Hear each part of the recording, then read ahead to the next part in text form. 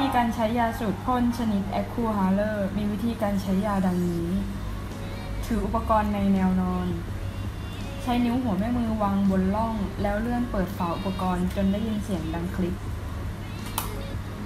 เลื่อนแป้นสีม่วงบนตัวเครื่องออกจนได้ยินเสียงดังคลิกพ่นลมหายใจออกทางปาก อมปากกระบอกยาโดยปิดปากให้สนิท สูดหายใจเข้าทางปาก เร็ว แรง ลึก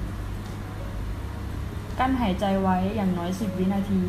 จากนั้นหายใจตามปกติ เช็ดปากกระบอกยาให้สะอาด